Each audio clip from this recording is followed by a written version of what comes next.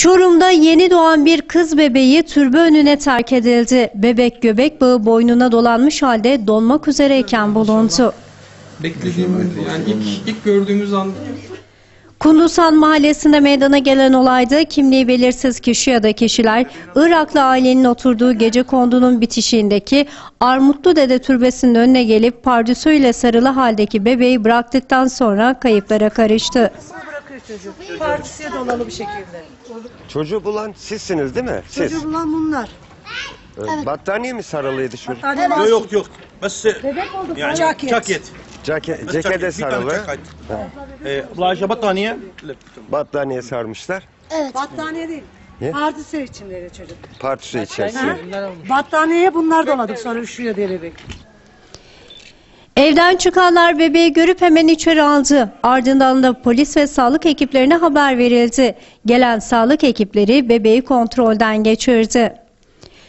Göbek bağı boynuna dolanmış ve donmak üzere olduğu belirtilen bebek Çorum Eğitim Araştırma Hastanesi'ne götürülerek küveze konuldu. Yaklaşık 3 kilo ağırlığında 50 santimetre boyundaki kız bebeğin hayati tehlikesinin devam ettiği öğrenildi.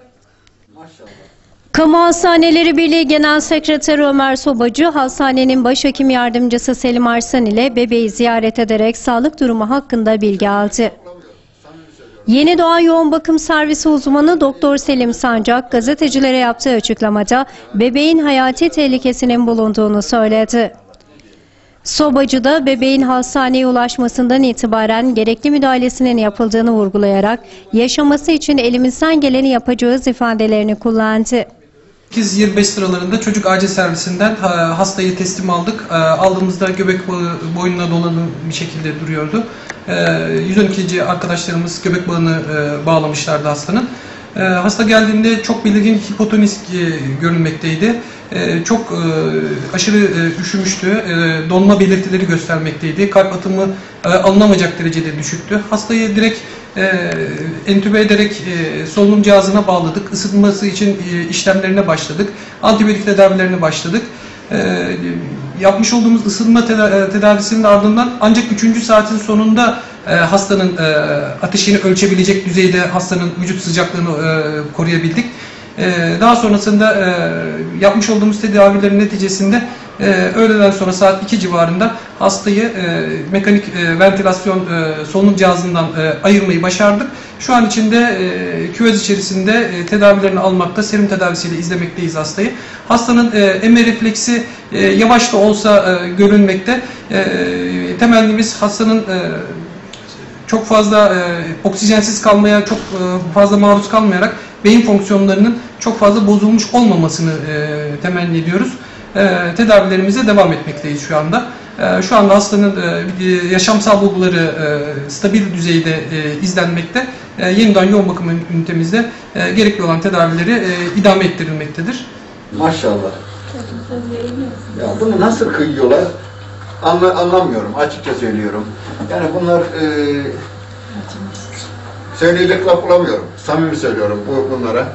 E, adını e, arkadaşlar kader, kader koydunuz. E, hadi adıyla sağlıklı ömürler versin Allah. Ne diyelim valla.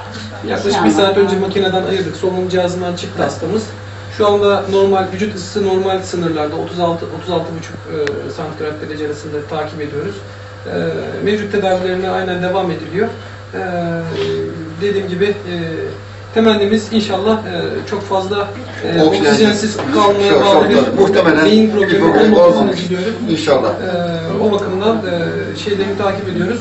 E, hastamızın emme refleksinin olması e, bizi bu konuda e, yüreğimizi biraz ferahlatıyor. E, emmesinin refleksinin olması, tonusunun iyi olması, e, kollarının, bacaklarının birinci- fleksiyon postüründe tutuyor olması e, çok fazla etkilenmediğini düşündürtüyor bize.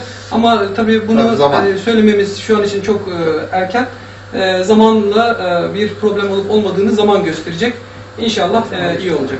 Yeni doğan yoğun bakımdaki hemşireler de bebeğe Kader ismini verdiklerini söyledi. Bebeğin yaklaşık bir ay sürecek tedavisinin ardından Aile ve Sosyal Politikalar İl Müdürlüğü'ne teslim edileceği öğrenildi. Bu arada İl Emniyet Müdürlüğü ekiplerince bebeği sokağa bırakan kişi ya da kişilerin bulunması için başlatılan çalışma sürüyor.